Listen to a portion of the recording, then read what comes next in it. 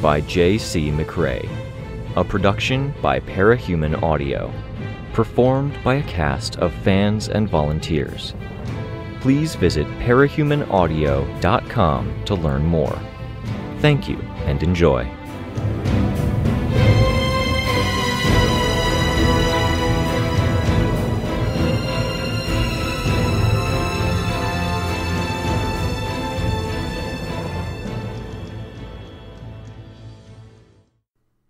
11, Interlude B. Two hours ago. Colt winced as Lovelost threw a gun at Nailbiter with no apparent intent to make it a gentle or careful throw. It wasn't because of anger, but because she trusted Nailbiter to handle it. Nailbiter extended a finger to thread the trigger guard before using an overlong finger to slap the gun into her waiting left hand. Nailbiter seemed to consider for a moment, dark eyes catching all of the lights as she looked down at the lump of metal. She gripped it by the barrel and held it out toward Nursery. Oh no, Nursery said. I don't believe in guns. I have to be a good example, you know. Lord of Loss chuckled. They were gathered outdoors, with members of the gang coming and going. Some weapons, some food, multiple cars being loaded up, gassed up with plastic jugs. Breath fogged in the air, except for those who didn't apparently breathe. Lord of Loss was one. Colt, Lovelost, and Nailbiter were standing near the door, with Nailbiter taking things as they were handed to her, or pointing when someone held up something for her, designating a vehicle. Lord of Loss, Spruce, Nursery, and Unbound were standing off to one side, the latter three wearing their winterized costumes. The rest of the group was already by one vehicle. The power didn't have to carry or haul. Colt wasn't being asked to carry or haul, but that wasn't a good thing. Keep the peace at Lime Center, Nailbiter addressed the mercenaries. Colt barely noticed the whistling S sounds anymore. One or two of you can wait there. It won't need attention unless someone gets stupid, picks a fight, gets drunk, doesn't matter. What kind of response do you want? Lord of Loss asked. Lovelost paused, meeting Nailbiter's eyes. Nailbiter supplied the answer. Dramatic, but not dramatically violent. These people are ours. If you act and use powers, mention our names. Then we'll put Spruce there. He's used to keeping order, Lord of Loss said. And he's bounding back from the flu. Poor dear, Nursery said. It's good if he's somewhere warm. Don't tell them that, Spruce said. I'm well enough for whatever needs doing. I can keep things calm, resolve disputes. When you say mention your names, I should say, hmm, Lovelost wouldn't want this. Love Lost nodded, a firm motion. Her heels clicked and scraped on the floor as she took something one of the henchmen had brought from upstairs a belt that sat askew on her hips, a rigging of clawwork and thin metal bars that formed a half circle around her upper arm, reaching almost to the shoulder. It took a second of work to get the rigging to attach to the existing work that reached her elbow. She made a motion with her arm. The claw that was attached to her swept in a half circle, slapping into place at the upper arm, while the configuration of bars and blades at her biceps slapped into place over her waiting forearm, hand, and fingers. She made a backhand motion, and the new, smaller set of claws uncoiled like five slinkies, with a sound like a hundred tiny swords being drawn from their sheaths, then sheathed again as they returned to their normal claw shape. Cool. Scary, but cool. Or was it scary, cool, but scary? Colt wasn't sure. She wasn't in Love Lost's graces, and that was a problem. Love Lost disposed of problems. Only the one? Nailbiter asked. Lovelost tapped her wrist, claw blade striking metal bars there. What's she mean? The mercenary in orange asked. No time to get the second one done, Nailbiter told him, keeping her eyes on Lovelost. No disagreement there, Colt noted. But Lovelost did tap her wrist again. And we should go, Nailbiter said. Lovelost nodded, firm once again. Those of you who aren't at the Lime Center, keep an eye on our place. Cradle thinks they'll come for us. If they do, We want them to find you instead. Protect our headquarters. Don't mess around there. It's trapped. We can guard it, the giant shell of a man said. I could add my own traps, Nursery said. If they get close, I'll know where they are. If they get too close, my baby can pacify them. Love Lost gave the go ahead to Nailbiter. The stairwell, Nailbiter said.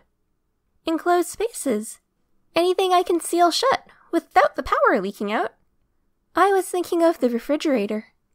It's a pantry under the stairs. I'll show you, Nailbiter said. Love Lost held the door open for Nursery, then followed her in. Or she will. She knows where all the traps are, Nailbiter said. Colt felt intimidated, surrounded by the people who were here. Lord of Loss was huge and had a big personality.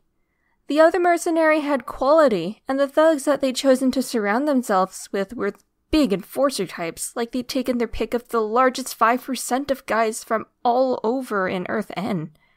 Colt's dad had once said that he liked people who surrounded themselves with smart people because they weren't insecure. It was the same thing here. They surrounded themselves with big, strong guys, and they didn't look any less powerful in comparison, even though Spruce was a skinny guy and Nurse Nursery was barely any taller than Colt was.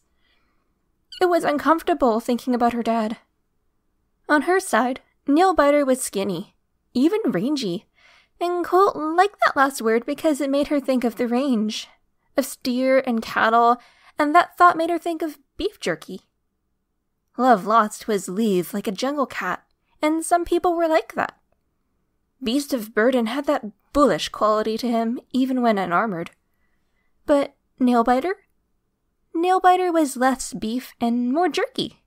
Salt and grit and personality and quality, everything in her condensed down, her hair dried up with bleach and her brown skin abraded here and there, lips chapped or scraped up with the nails, a cut on one eyelid. Side piece, Nailbiter called out. Side piece was sitting on the hood of a running car. Disjoint leaned against the edge of the hood, feet on the ground, and back to his girlfriend, and had Side Piece's legs pressed against his arms, knees by his shoulders, while she did something with his hair. They were casual, even lovey dovey, while kitchen sink and hookline stood by, stiff and looking like kicked dogs. Hookline had one hand at the elbow of his other arm, head down, while kitchen sink had his arms folded, shoulders drawn forward. In the same doghouse as me, Colt reminded herself. What do you want? Sidepiece asked. Show the mercenaries around. Key areas. There's not much, Sidepiece protested. Nailbiter's already hard expression took on a harder cast. Rolling her eyes so hard that her head moved with it, Sidepiece disengaged from her boyfriend and hopped down. Thank you, Nailbiter said, to side piece and Disjoint. Her smile was all nails and one screw. Side piece gave her another eye roll. Leaving Nailbiter and Colt alone. Well, alone except for the people who were loading up trucks with basic supplies. Fuck, Colt thought. That was on purpose. It was cold, and the chill that came over her made her feel even colder. Nailbiter still had the gun. What are you going to do? Nailbiter asked. Do I even have a choice? Colt asked. If you did, what would you do? The woman asked her. Colt shivered, jamming her hands in her pocket, ducking her head down. I don't know. You need to know, Nailbiter said. I'm sure you can guess why Sidepiece isn't asked to watch you. You're not that stupid. Colt shook her head. Her hair was a mess, and she couldn't bring herself to fix it. Disjoint handles it sometimes. Love lost sometimes, Nailbiter said. But it's usually me. Do you know why? Because you're the one who's going to kill me if she decides it needs to be done. The others aren't reliable for that sort of thing. There wasn't an immediate response. Trunks and car doors slammed. Some men turned to give Nailbiter a thumbs up. She responded with a motion of her hand. We talked about it, Nailbiter said. She draws the line at a certain age. You're over it. The question is if you were a kid. Colt's first attempt at speaking failed. When she tried again, her voice was closer to being a whistle or a hiss in Nailbiter's voice than a normal person's voice would be. And? And I want to know what you're doing right here, right now. Are you coming here? Are you staying behind, making sure the errands are done and dinner is made, being careful not to open the wrong cabinets? Colt swallowed hard, looking through the open door to where Nursery was crouched by the pantry under the stairs. Very careful, Nailbiter said, amending her statement. Or are you going to run and try to go home? I know too much. You'd catch me. If that wasn't a consideration, Nailbiter asked. She turned her face toward Colt, her eyes dark, her teeth frozen from where moisture of her breath had gathered on nails and formed an ice coating. I don't know. Nailbiter's expression changed, a snarl without a sound to it, and Colt dropped her eyes. We were the bastard children, my sister and I, Nailbiter said. Our daddies passed through town and they didn't know it, but they left our ma with child. School was a suggestion, and I fucking hated and hate it when people suggest I do anything. You hear me? Colt nodded, not sure why this tangent had come up, but it was better than talking about execution. I was young enough that I'd just grown in my adult teeth when my face got caved in by a boy from town, five years older than me, and he got most of those teeth.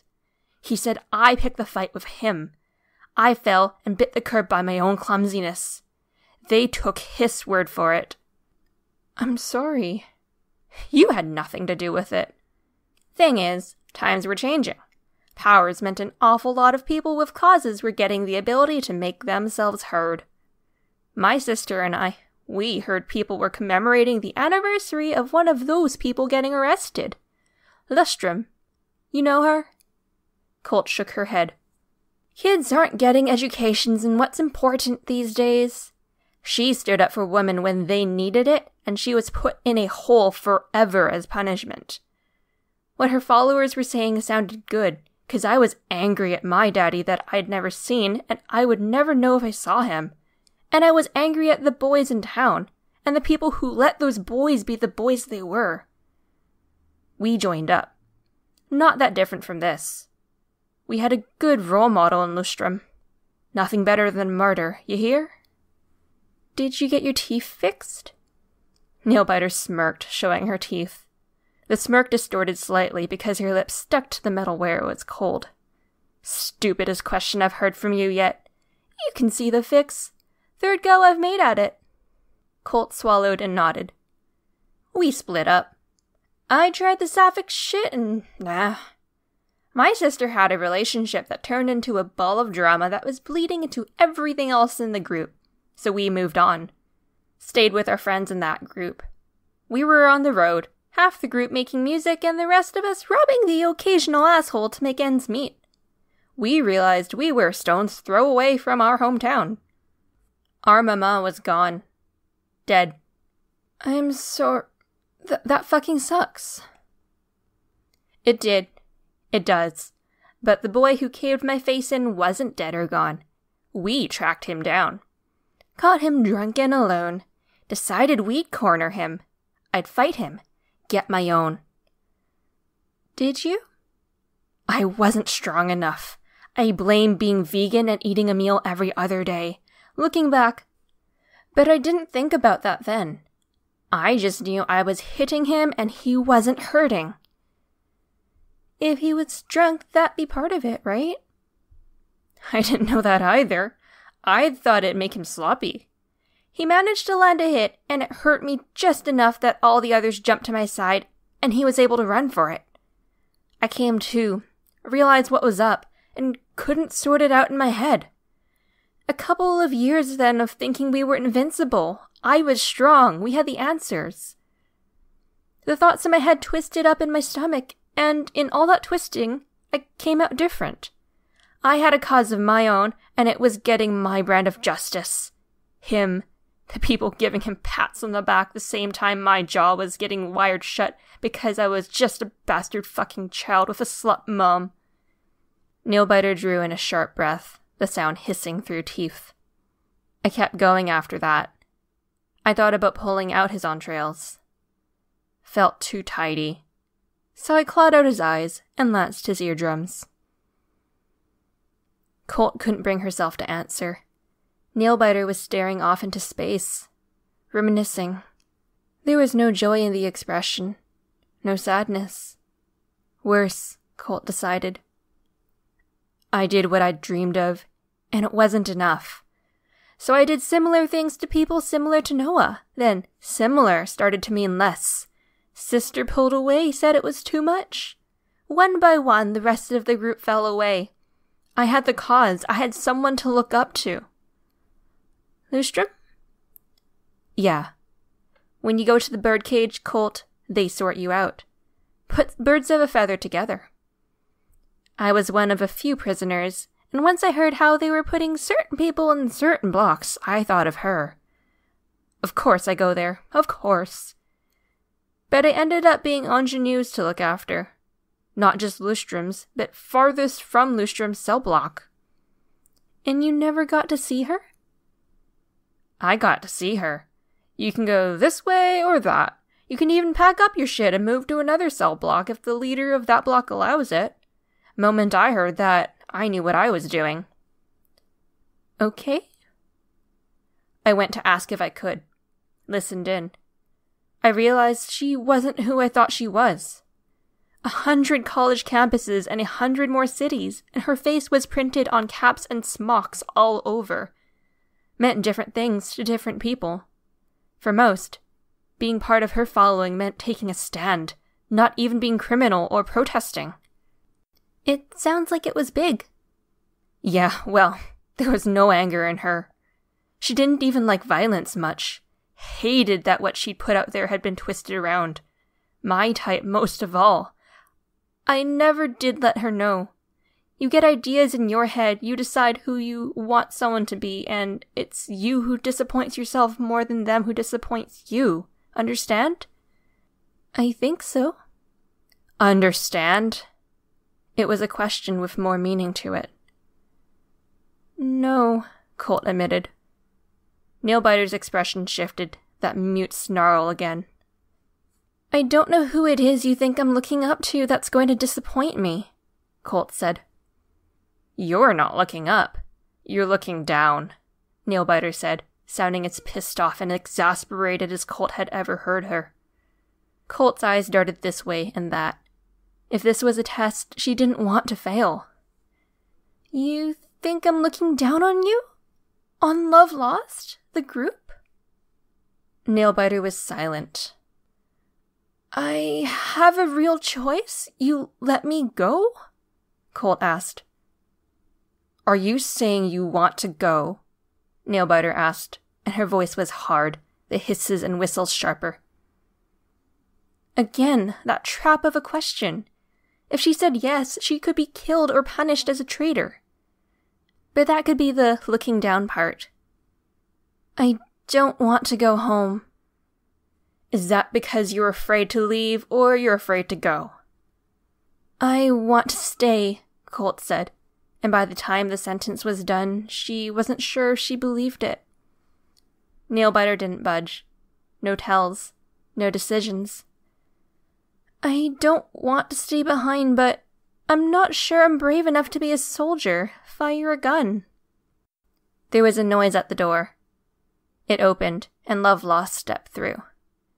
Seeing her face, Colt was reminded of the golden man's face in the rare video footage of him. Of the image that had been mass printed. Of an artist's rendition of Scion, the man who would later end the world. Not that Lovelost was capable of ending the world, but the expression was so similar. Caught between anger and sadness, disappointment too light, too loaded a word in Colt's mind now that Nailbiter had talked about it. Crestfallen? Why? You're not a kid, Nailbiter said. If you were, this would be easier. But because you're not a kid, I can give you options. How would you like artificial courage? Art. Colt started. She stopped as she saw the pill Nailbiter held between two extended fingers.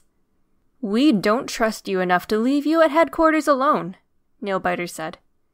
If you can't fight, you can't be a soldier. So either take the steps necessary or get lost. Going home meant facing her parents. She'd attacked her mom to get her mom to let her go, while Nailbiter had watched it happen, not stepping in. Nailbiter had claimed her, and now Nailbiter was saying she had things wrong? She didn't get it. But scary as these guys were, going home was scary in another way. She reached out for the pill. Nailbiter deposited it in her hand. Chew it. Don't swallow it. It's going to last for a bit, whatever you do, and you don't want it having to sit for too long to work. Colt put it between her teeth. She bit hard, and it crumbled. The acrid taste flooded her senses. That's awful! Ugh! she cried out, doubling over. Is this that pill person's stuff? She looked up, and she caught the very tail end of Love Lost and Nailbiter silently communicating something between them. Having already taken a second or two longer than she usually did, Nailbiter answered her. No, nothing tinker about it. It's an upper. Some energy, some recklessness. Courage, if you want to call it that. Love Lost looked even more upset than before, but she betrayed nothing and said nothing. A clawed hand was gently laid on Nailbiter's shoulder in passing. It stayed there as Love Lost stood straight, chin rising. Her claws and other tinker decoration glittered as she raised a hand, fingers moving in a swooping gesture. The cars that had been idling to let the heaters run chugged to life, almost synchronized. She wasn't sure if it was the rush of fear and excitement, or if it was the pill already working, but her heart was pounding now, with a hammering rhythm that paid no mind to her feelings or the circumstances. The brights of the world seemed brighter, and the dark seemed darker, and in the moment there was a hell of a lot more dark than light. Nailbiter extended a hand. She gripped the barrel of the pistol, handle out for Colt to hold. Don't take this if you're not willing to shoot to kill. Colt took the weapon. Twenty minutes ago. Go, Nailbiter barked. You're a liability. Liability? Sidepiece asked. The liability is the Q tip down there. Our good old damsel of distress needs to answer for betraying us, and I swear we'll get that answer if I have to blow up everyone here to do it. Colt smiled despite herself. She felt a bit giddy with excitement. She was 90% sure that Sidepiece was joking, but the idea that she might not be made her want to laugh. Smiles were okay, she decided, but laughing was a problem. Go, Nailbiter said. Never and fuck you. Love Lost pointed. Fuck, Sidepiece shouted. Colt's hand shook as she held the binoculars. It was enough that it was kind of hard to keep the binoculars focused on a target. Which was a shame because two of the targets were really, really nice to look at. Damsel, lookout, imp, a young girl in a black dress with white lace frills beneath, a boy with wild blonde hair, cute and older, but on the nerdy side, and another boy with black hair, moody, glowering, the same age or just a bit younger than Colt. She'd liked boys in the past, and she'd really liked some boys she'd gotten to know, but she'd never really, really liked boys. And she definitely never really, really liked boys she'd only ever known from a distance. Hookline shifted his position, and Lovelost put an arm out. The configuration at her arms broke apart, going through the swapping procedure, then stopped, only the bars extending out, an added foot of reach that blocked Hookline. What? Hookline asked. Nailbiter offered up the answer.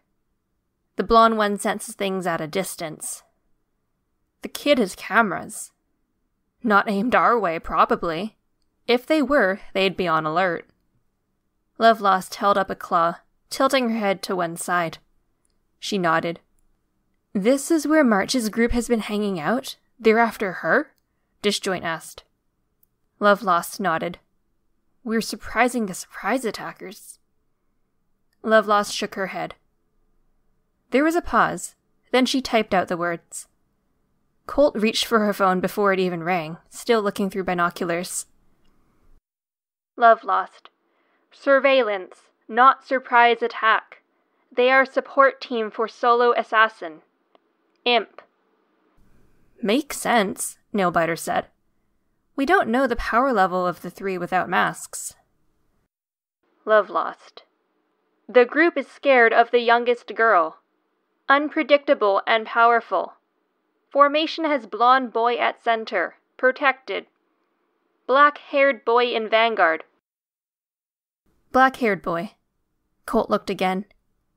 He walked with Damsel, not saying much. Damsel was vanguard too, it seemed. Made sense based on what she knew. Can we take them? It took a second before Colt realized she'd asked the question. Love Lost nodded. She reached to one wrist and adjusted the settings on the claw at the arm where there was only one configuration. Colt watched warily. Claw tips glowed. Where they moved, they cut lines into the air. A circle was drawn around Hookline. A line was drawn from it as claws tapped at air. Hookline's phone lit up, and he held up the screen for others to see. Love lost. Smallest girl. Incapacitate. More circles were drawn out. Orders given by text to specific phones. Each person dutifully held up their phones with the targets and orders, shifting position to be ready to take the courses given. Some would attack the rear, others the front. Disjoint to lookout. Kitchen sink to the black haired and blonde boys, whoever provided themselves as a target. Nailbiter to the same pairing, dissuading damsel where possible. Love lost to imp and damsel. Then Colt. A circle drawn around her and two other hired guns from the Lime Center. The text appeared. Love lost. Support attack from rear. Permission to kill exception for two girls. Lookout and younger. Colt nodded. Her heart continued its racing beat, not slowing, not speeding up. It made the entire thing feel less real, easier. Lovelost started forward. She pointed, then the hand moved, fingers extending down. She walked the fingers through the air. Walk, don't run? Kitchen Sink asked. Until they notice us. Save our strength and stamina until then, Nailbiter said. Love Lost nodded. Their path was downhill. Their target, a city street with closed businesses, all shuttered. Some looked like they were permanently closed. Ice made some footing treacherous, but different members of the group compensated. Love Lost had her claw feet. Nailbiter had pointed tips to her fingers and toes. Hookline dragged the hook against the pavement. Disjoint was segmented, most of his body floating. Kitchen Sink wasn't so able. The other mercenaries, too. Still. Gun tag, Disjoint said. What? Colt asked, startled. What we're doing right now. Playing tag with guns. Get them before they get you and you win. Other way around? Lose. Don't lose, Kitchen Sink said. Those are heartbroken. They don't go easy on losers. Claw snapped against claw like a snap of a finger, but far more violent. And with the light still left activated, the movement produced a small sparking of light. Love Lost broke into a run. Colt raised her binoculars to confirm, even as she started running, too. It was the pat the head while rubbing your tummy kind of coordination that would have been hard at any time, but the pill made it harder, or the pill made it seem easier of a task. She slipped and skidded on ice until her foot hit the crest of a snowbank. A mercenary hauled her to her feet, then kept a hand on her shoulder as they ran. They'd been noticed, so the attack was happening now. Gun tag? She had a gun. It's not March, she could hear one shouting. The dorky cute blonde boy. Shit, was his companion's response. The broody cute one. They converged on the group, each set of Love Lost's people rounding the corners and stepping out from cover in near concert. The Undersiders' breakthrough team up had already formed battle lines, a loose ring protecting more vulnerable members. Lookout already had her tinker weapons out. a clawed tail or something, and a white gun that she clasped in both hands. Disjoint's hand appeared and seized her wrist. She pulled the other hand away, taking on a one handed stance, aiming off to the side. Another hand caught her. The black haired boy was stepping forward, and Colt had to remind herself she had a job to do. She aimed high and fired. It didn't slow him down or distract. Fists clenched at either side of him. He roared, a fierce sound, veins standing out on his face. Kitchen Sink reeled, then started sprinting forward. Don't! Hookline shouted. There was no controlling it, apparently. A headlong berserk rush, meeting the black haired boy, who was still roaring. Kitchen Sink was all brawn, weapons appearing in his hands, slipping free as soon as he realized he couldn't use them. A metal stein became a thing he could grab and swing towards the black boy's face. In the other hand, the deciding fixture was a bit of piping with a shower head fixed on the end. The black haired boy fought with one arm extended, the other held back. It was a fencer's pose without a fencer's foil, grace, timing, and keen reactions contrasting with the way his eyes were bloodshot and veins raised on his forehead. He swayed back, slapped aside, and stepped in close, driving a knee into Kitchen Sink's middle. Faster than a normal person, maybe stronger, inflicting rage but suffering it too.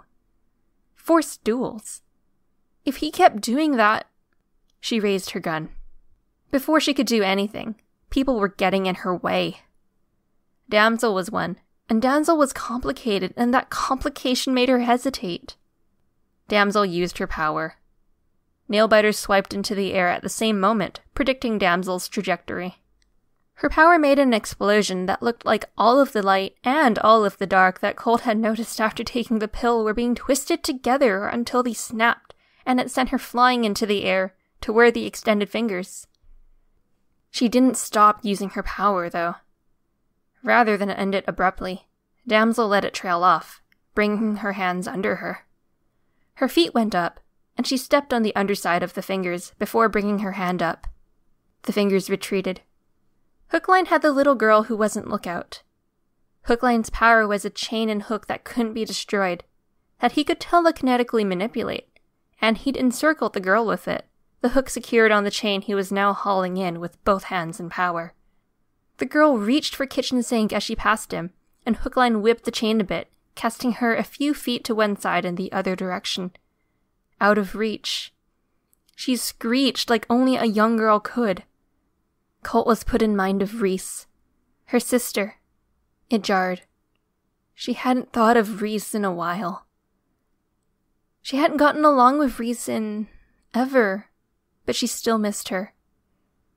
Weird to think about in the now.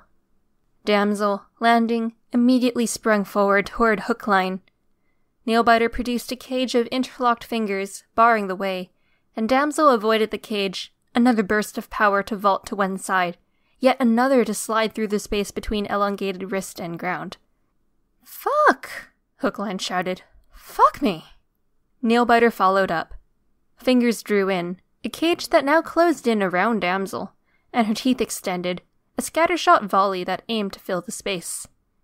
Damsel used her power twice in quick succession before the kicked up snow and dirt and the seemingly countless narrow spikes that filled the air caught up to her. Two shots. One to punch a hole into the ground, the other to reverse course and hurl herself into that hole. The nails had passed overhead. Colt saw movement. She aimed, sighted her target, and recognized it as the blond boy. Samuel! a girl shouted, not that far away, between Lovelost and Colt. Reflexively, Colt pulled the trigger. It felt like it had seemed to work with the black haired boy's power. His power had been rage, both inflicted and felt. This was a horrible, jarring kick, and corresponding to that kick, the boy kicked back and flumped to the ground in a horrible, jarring way. You bitch! Colt turned toward the sound, then felt bewildered at the lack of his source.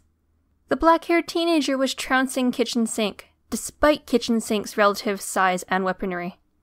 Sink's swings were wide and reckless, and he almost seemed to forget he had the weapons in his haste to get in close and hurt the teen. That changed in a flash. One item fell into his hands, and he hurled it. It produced a cloud as it hurtled through the air, and that cloud left the black haired boy coughing. Kitchen Sink slammed his face into the boy's. Sink's face had a heavy porcelain mask strapped to it. The boy had nothing and dropped to his knees, one hand to his face. A second later, veins stood out across his face, more intense than before, and the blood loss accelerated. He lunged forward and didn't quite manage to get off his knees before Sink started pressuring him down toward the ground. Sink looked pretty affected, almost frothing at the mouth now. Colt staggered back, an arm encircling her neck. Her first thought was that it was one of Lovelost's mercenaries and that she'd somehow crossed the line or gotten herself just desserts. Her other thought was that Lovelost was stalking toward her, her right claw extended into whips with sharp metal caps at the end. Colt tried to bring her gun up to shoot at the guy who had her. When her hand raised, however, there was no weight in it and no gun. She felt a gun press against her back. Though it was a heavy, hairy man's arm that held her, the voice in her ear was feminine. You just shot my friend, you fucking lunatic. Damsel was using her power more, skipping ahead, while Nailbiter was trying to catch up. Forgetting the strangulation for a second, Colt twisted to try and see what was happening. She was just in time to see Damsel arrive at the corner where Disjoint was waiting. He had no arms by which to defend himself, so Damsel was free to use her power to deliver a flying knee strike as he doubled over, trying to shield himself with truncated arms. When he flew back, he had hands again, which freed Lookout, who he had been restraining. Colt screwed her eyes shut, saw Love Lost doing the same, as Lookout raised her gun. The flash hurt, even with her eyes forced as shut as she could get, her face turned away. It made her mind adjust light and dark in a funny way, as if she'd always scaled it from 1 to 10, and she just found a new, higher bar for 10. Her mom was always in the hospital for hip pain, she thought. She'd heard a lot about pain scales, heard her mom complain about how arbitrary a 10 was. Disjoint was knocked out. Hookline. He gathered chains together into a loose wall in between himself and Damsel. Doing so meant dragging the kid a little closer. Colt found herself able to breathe again, unsure why she'd even stopped. Lovelost shoved past her and started whipping at the air. You need to help! Colt shouted at Lovelost, her voice too high, tremulous the mercenaries that had been part of her flanking group were on the ground, and she couldn't remember them getting beat. Bending down, she picked up one of their guns. Damsel crashed into the length of Nailbiter's claws, then used her power again, forcing the claws to move with her, slamming into Hookline. It meant the littlest kid was free.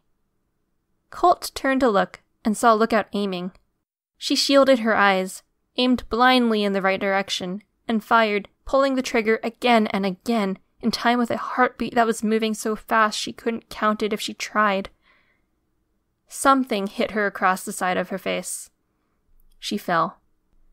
It was Lovelost who picked her up again, her grip hard enough that metal claws threatened to pierce skin. Lovelost's claws were slick of blood. Kitchen Sink was battered, Hookline rattled, but those two were up. Disjoint and the other mercenaries still seemed to be unconscious, except for a guy or two at the far end. They were outnumbered. Traitor, Kitchen Sink said to Damsel. Old news, that, she said. Her eyes were black from corner to corner, and they smoked faintly. She'd been scratched at one shoulder by Nailbiter's teeth. You shot a child, Damsel said. You're working with Cradle on that machine of his? You're a disappointment to yourselves and everyone who has to walk the same earth as you. Lovelost was silent, of course. Colt made a small amused sound before she could stop herself. Still a little giddy, loose around the edges. The smile fell from her face as she noticed Lovelost staring her down. Oh, this was worse than going to the doghouse.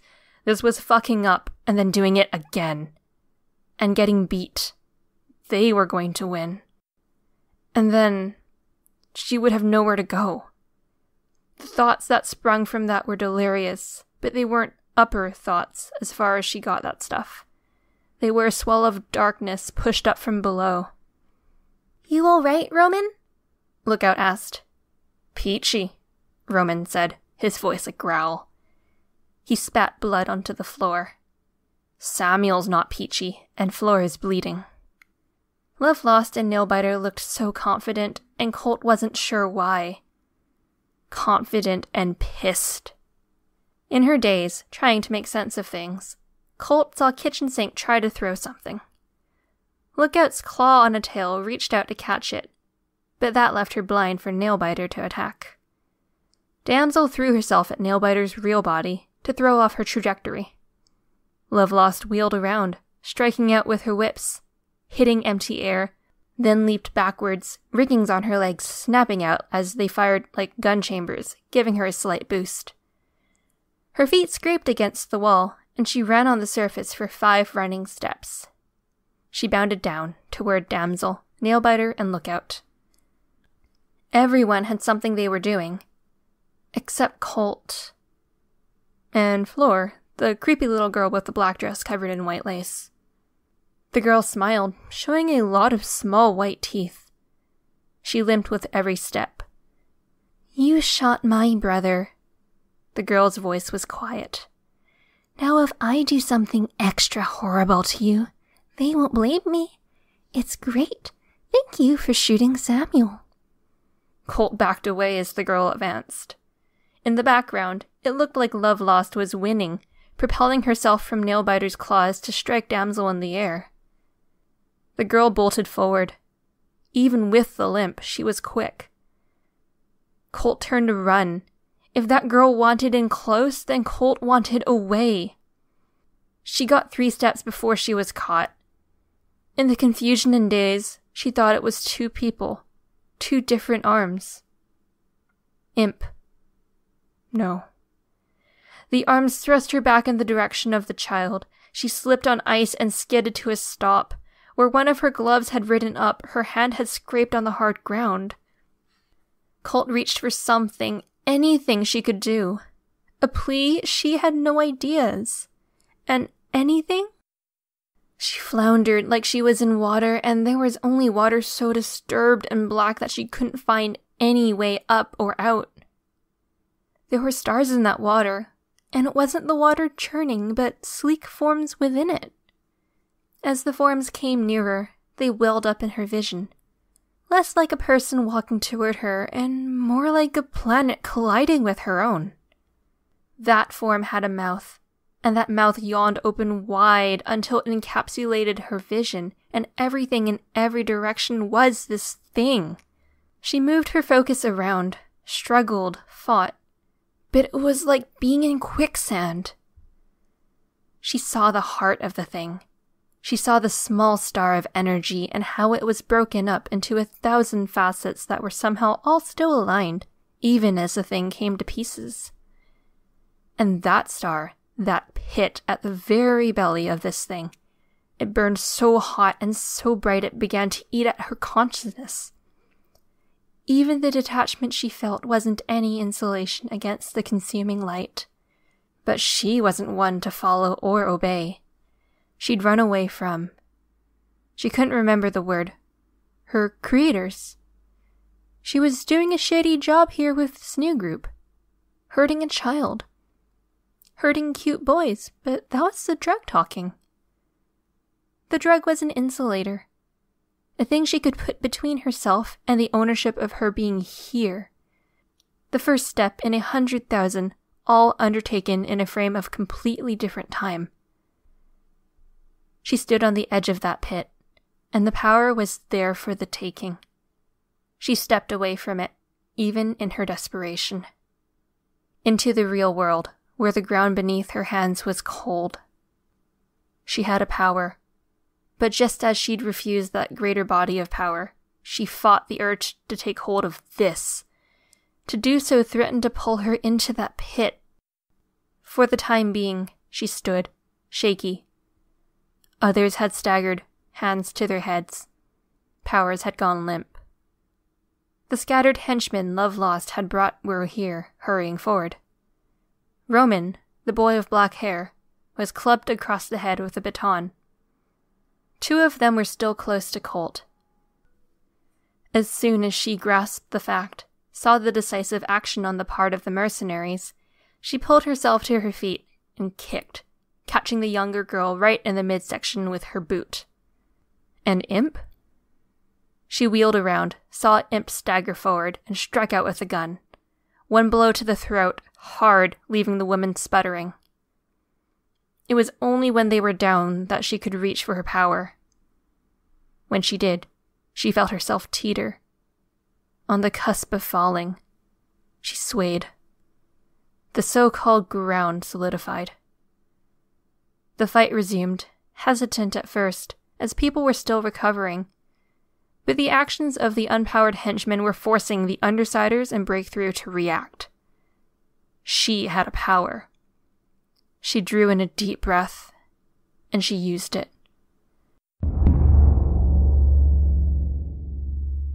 Now, bags over their heads, hands bound behind their backs, several with poles attached to the bindings at their hands, so they could be managed from a distance. Her nose was bloody, her hand and knees scraped, and the dregs were leaving her with a strangely disappointed feeling, out of tune with the reality before her, that she had a strong power. Just the mood swinging in the opposite direction. Her feelings jerked this way and that as she took it in. Disjoint gave her a reassuring smile. Love Lost, though, didn't seem happy in the slightest. Weird, considering they had this contingent captive. Two of Breakthrough, one Undersider, three Heartbroken. Two of those had been shot, one lacerated so badly by Love Lost's whips that she couldn't walk, and all three of those were now on the way to hospitals Love Lost had worked with before. The medical care would be held hostage, as necessary. Otherwise, they were all hostages now. There was no going home again now a small voice in her head said. She'd crossed lines even within this group. Home had been destroyed two years ago, another said. The concept had stopped meaning anything back then. Come on, Disjoint told her, stirring her from dark thoughts. Colt forced a smile to her face and found her feet. We're nearly done, Nailbiter said.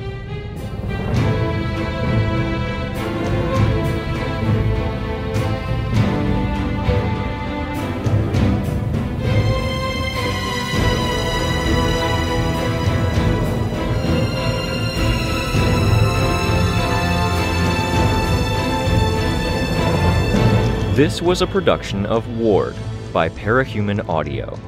Ward and the Parahuman stories are written and owned by J.C. McCrae. You can find the original text and support the author at parahumans.net. For more of the Ward audiobook, as well as other community works, please visit parahumanaudio.com. Music for this chapter was by Purple Planet. Find out more at purple-planet.com. Editing by The Violet Legacy. Find them on Twitter at The Violet Legacy. Narration by Torchide. Find more of their work at our website. Thank you for listening.